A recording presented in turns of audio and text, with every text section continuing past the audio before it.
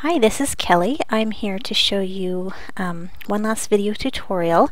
Um, this is for tracing paper dolls when a simple trace in Studio doesn't quite work well enough.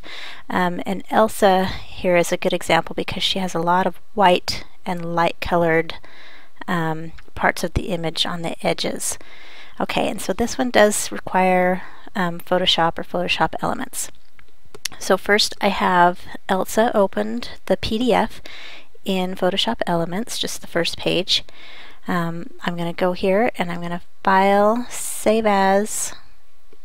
I'm going to change it to a PNG file and I would name it Elsa. I go with the um, no interlace option.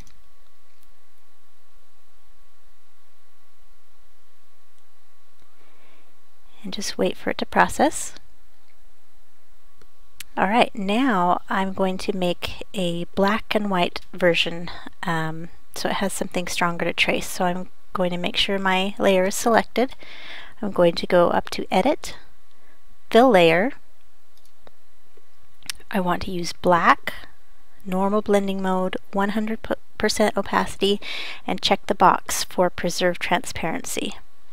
Click OK and now you have all of the um, pieces filled with black. And this works on a um, PDF file that has a transparent background. So the only thing um, filled with color was just these sections of the paper doll.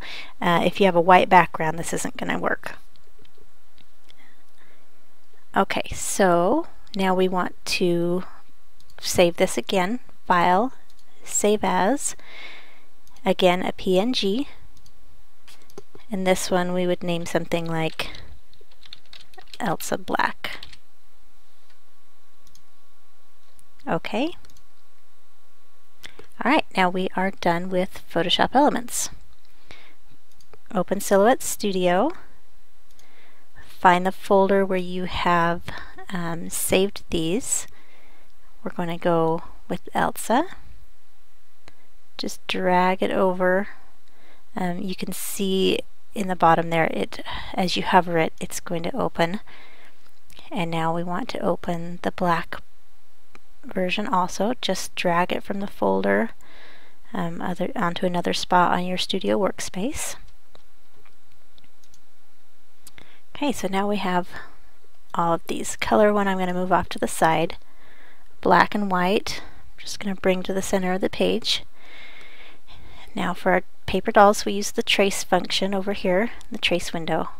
Select trace area, drag around what you want to trace, uncheck high pass filter. We're going to move our threshold up just to make sure it gets um, everything. And I think with Elsa right around 80% is good. And now up here for paper dolls we use trace and detach. And oftentimes this takes just a minute. So we will wait.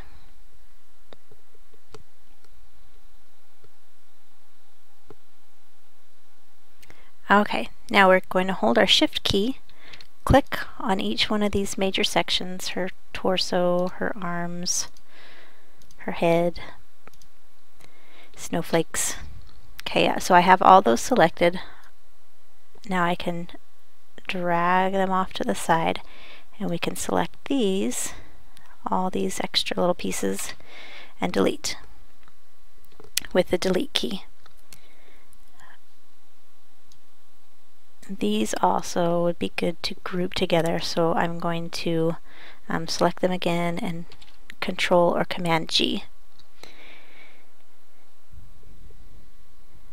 I'm going to bring this back to the center of the page now that I've gotten rid of the extra things in the background. I'm going to change my line color to red. I'm going to change my fill color to blank that gets rid of the black. Now here's an important step. You need to bring it to the front. So here's this little button on the bottom. I want to move this to my front layer.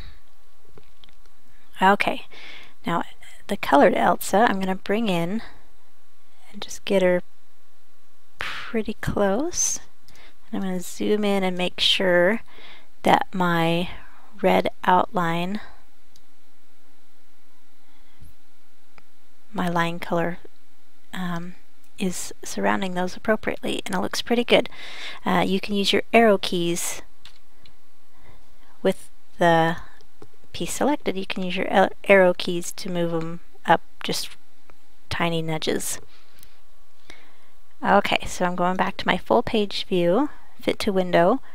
I'm going to select everything, drag a box around it. Now I'm going to my modify window and select crop. You've noticed the line colors have disappeared, but what that has done is taken my trace cut lines and has cropped out um, everything except the colored pieces. And here I'm going to go again to change my line color to red.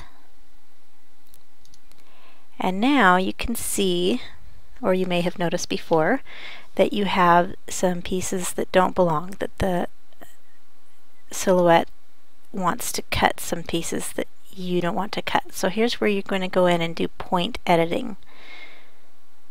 So I will click off to the side and I will click double click on this to get my point edit mode.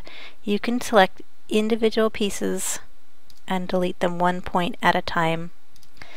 So on the torso, on the top of the skirts,